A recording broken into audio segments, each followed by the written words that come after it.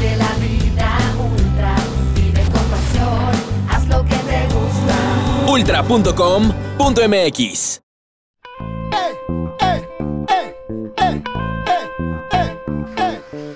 Continuamos aquí en Puerto Vallarta.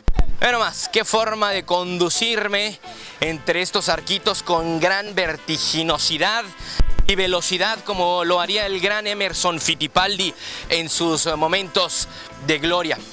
Oigan, bueno, ¿qué más les puedo platicar de Puerto Vallarta? Justo a mi, bueno, justo frente en este momento eh, la cámara nos puede retratar perfectamente eh, donde, donde se encuentran ese cúmulo de edificios, esta zona es eh, Puerto Vallarta. La punta que podemos encontrar hacia nuestra izquierda, podemos encontrar la zona de Nuevo Vallarta. Es una gran fotografía, sin lugar a duda. Eh, ¿Qué te puedo decir?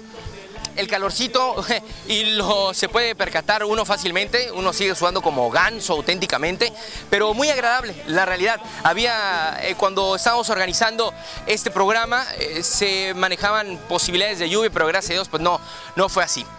A mi espalda está lo que se conoce como Fuente de la Amistad. La Fuente de la Amistad simboliza como eh, Puerto Vallarta es ciudad hermana de Santa Barbara, California. ¿eh? ¿Qué tal? Saludo para todos los amigos que nos ven en estos momentos allá en Santa Bárbara, California y en muchísimas partes de los Estados Unidos. Eh, entonces, e- e- este, e- esta fuente de la amistad simboliza eso, cómo Puerto Vallarta tiene esa hermandad, cómo recibe la gente, cómo, cómo también podemos encontrar en Puerto Vallarta una ciudad cosmopolita por eh, diferentes cuestiones, porque tiene un torneo de golf importantísimo, porque tiene un torneo de pesca eh, a finales de año eh, que es importantísimo también, y bueno, un intercambio de cultura llevado de la mano de gente, tradiciones, etcétera. Por esto y más, Puerto Vallarta es auténticamente una chulada.